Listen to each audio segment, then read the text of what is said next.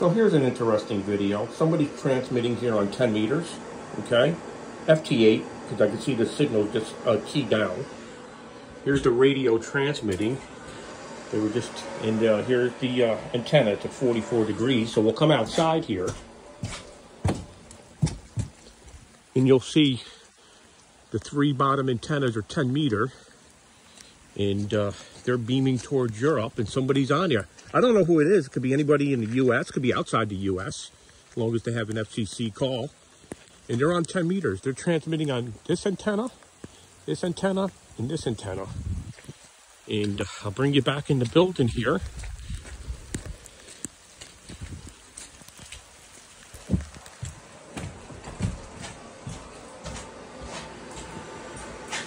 And uh, let's see if they transmit again. Yep, there they go.